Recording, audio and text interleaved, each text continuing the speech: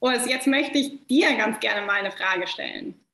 Und zwar finde ich es tatsächlich manchmal ein bisschen anmaßend, dass, dass Männer und Frauen etwas über Geburt und Schmerzen und Schmerzlinderung erzählen wollen, weil sie es einfach nicht erleben können.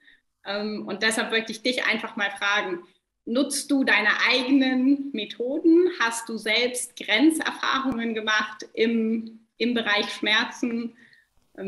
Was hast du erlebt? Also danke vielmals, Jasmin, dass du das endlich aufs Brett bringst. Das ist mal die erste Sache.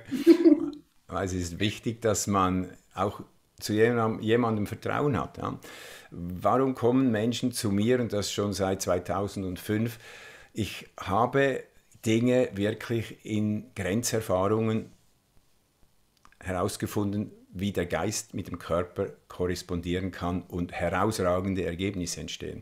Ich durfte mit 16 Jahren, bin jetzt 57, eingeführt werden in eine, eine hawaiianische, schamanische Denk- und Lebensweise, Huna genannt. Und auf diesen sieben Prinzipien baue ich seither mein ganzes Leben auf. Und ich habe unter anderem einen Feuerlauf-Weltrekord gemacht. Das war 1999 über 200 Meter glühende Kohle. 200 Meter. Genau, das sind zwei. Moment, ein, ein normaler Feuerlauf. Also ich habe das mal bei einem Seminar tatsächlich erlebt. Ich habe es mich selbst nicht getraut, sage ich ganz ehrlich. Ein normaler Feuerlauf sind irgendwie fünf Meter und da werden die Leute mental mega drauf vorbereitet. Und du hast jetzt gerade gesagt, du hast 200 Meter. Bist du genau. über glühende Kohlen gelaufen? Genau, das ist am Schluss auch nichts anderes als. Das sind zwei Fußballfelder, wenn man sich so mal ähm, vorstellt, ungefähr. Ja. Das braucht eine Menge Holz. Da haben wir alleine einen halben Tag Holz ge geschuftet und angezündet und bis das dann unten ist und 200 Meter Länge. Also das war alleine schon ein Spektakel. Und wir haben uns, deshalb erzähle ich es eigentlich nur drei Stunden vorbereitet. 37 Menschen. Und das könnte jeder nach dem sanfte Geburttraining auch, weil es geht um diese sieben Prinzipien, die dahinter liegen. Und man hat dann gelernt, und das ist das, was es ausmacht, wenn man sich hingibt und verbindet mit dem, was man gerade tut. Das ist bei Kindern, nennt man das Spielen. Im Sport nennt man das die Zone. Hier bei mir nenne ich es den positiven Flow in meinem sanfte Geburttraining. Und das heißt ganz präsent sein, alles Unnötige ausblenden, hochfokussiert deine Energie aufbauen auf allen Ebenen, also körperlich, geistig. Das heißt also, deine Ängste wurden in diesem drei Stunden Training end, endgültig entmachtet. Wir haben uns so darauf vor, äh, trainiert, zum Beispiel über eine Visualisierungstechnik, dass ich über ein Schneefeld laufen werde und meine Füße dann in dieses angenehme, kühle, weiße Schneefeld einsinken. Das haben wir uns visualisiert. Wir haben ja in anderen Videos, Jasmin, darüber gesprochen, die Kraft der Vorstellung. Und das habe ich da halt alles auch eingeübt und umgesetzt. Und wir sind alle 37 Menschen dann schlussendlich ähm, gesund und heil angekommen auf der anderen Seite. Aber du bist, du bist letztendlich über glühende Kohlen gelaufen, die mehrere tausend Grad heiß sind und die führen direkt und sofort zu Verbrennungen an den Füßen. Ähm. Wie hast du das erlebt? Ich habe null ähm, Empfindungen gehabt an den Füßen. Null.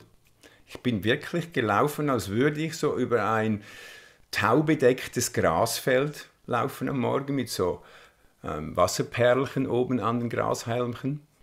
Das haben wir uns visualisiert, solche Dinge. Und ganz bewusst habe ich das gemacht, einen Fixpunkt visualisiert, so wie wir das im sanfte Training auch einüben. Konzentration, Fokus halten, ganz hier sein. Ich habe in meinem Leben auch viele Künstler gecoacht, zum Beispiel Seiltänzer oder Akrobaten, die laufen dann von ein. Ich kenne viele Menschen, sind so abgefahrene Menschen, die, die sammeln Weltrekorde. Ich habe jetzt einen gemacht. Aber es gibt Menschen wie der Freddy Knie zum Beispiel, das ist ein Seiltänzer oder ein Akrobat ähm, aus der Schweiz, der hat über 100 Weltrekorde und der läuft von einem Berggipfel auf den anderen über so ein dickes Seil und hat nur eine Balancestange in der Hand. Und unten sind tausende Meter von nichts. Also der muss sich konzentrieren und das lernen wir im sanfte Geburtstraining. Und ich wollte das immer herausfinden, bevor ich mit Menschen arbeite in diesem speziellen Gebiet mit äh, Schwangerschaft und Geburt, kann ich das bei mir selber auch. Und das war so ein, ein Ereignis, eine der Grenzerfahrungen, äh, zum Beispiel Feuerlauf. Ja, das waren 1000 Grad glühende Kohle, das ist Lava-Temperatur. Wow, das ist beeindruckend. Ähm, hast du noch mehr gemacht? Ich will das wissen. Ich finde das spannend, weil ich mich, weiß nicht, ob ich schon so weit bin, aber ich finde das extrem spannend. Also wir haben das hier nicht vorbereitet, wenn jemand zuschaut. Das ist jetzt eine spontane Aktion übrigens. Und, und ja, ich habe noch mehrere Dinge, aber ich will noch mal was sagen zu diesem Feuerlauf, weil schlussendlich ist das Feuerlaufen nichts anderes als Gebären. Du brauchst den Fokus, du brauchst die Energie hochhalten, das machst du mit deiner Aufmerksamkeit. Du brauchst deine Gedanken zu lenken, das heißt weg von den Ängsten hin zur Zuversicht und zum Vertrauen. Sonst musst du gar nicht übers Feuer laufen, wenn du am Anfang schon denkst, ich verbrenne mich. Mhm. Hast du schon die Füße ver verbrannt, bevor du überhaupt losläufst. Und das muss tief aus deinem Inneren als eine Überzeugung in dir im Unterbewusstsein abgebildet werden. Das haben wir alles in diesen Videos jetzt besprochen. Weißt du, von innen heraus, Fokus halten, Gedankenkraft lenken, aus Liebe agieren anstelle aus Angst. Das sind diese sieben Prinzipien. Kreativ sein, eben zum Beispiel ein Schneefeld vorstellen, wo wir drüber laufen dann, anstelle glühende heiße Kohle. Und das Ganze einfach im Hier und Jetzt sein.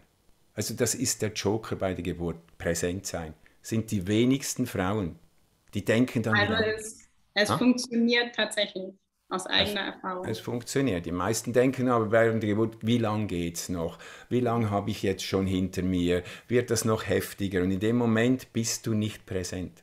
Es funktioniert und es funktioniert auch beim Zahnarzt. Ich mache Wurzelbehandlungen mit den genau gleichen Strategien. Ich habe mir den hintersten Weisheitszähne, drei Stück schon so ziehen lassen. Also da musste der wirklich mit. Ohne Betäubung, ohne Narkose. Genau, und auch ohne Narkose habe ich da. Unser Sohn kam 2006 zur Welt, Jasmin. Ähm, in zweieinhalb Stunden war eine Wunschgeburt von meiner Frau Heidi. Und danach aber, wir waren beide schon 42-jährig, haben gesagt, wir möchten kein Kind, ein weiteres. Und dann bin ich mich unterbinden lassen gegangen zu meinem Arzt und habe gesagt, das wird ein spezielles Unterbinden für dich dieses Mal. Wir sind per Du, der Arzt und ich. Und haben gesagt, mach uns das, dass wir 30 Minuten ohne Anästhesie das mal durchziehen und äh, an meinem Unterleib gearbeitet wird. Und dann habe ich das ohne Anästhesie erleben dürfen. Wie das funktioniert, wenn du bei dir bleiben kannst. Wow, das ist eine Operation. Da wird geschnitten. Genau. Und das Einzige, was ich ein bisschen wahrgenommen habe, war ein bisschen warm zwischendurch. Ich habe aber den Arzt dann auch schon vorgewarnt, ich werde manchmal laut atmen und ich werde manchmal ja hineinatmen und ich werde manchmal lächeln, dass es sich dann nicht komisch vorkommt. Und der Arzt sich dann nicht erschreckt. Genau, und die Assistentin dann nicht irgendwie das Gefühl hat, ich hätte Drogen genommen. Nee.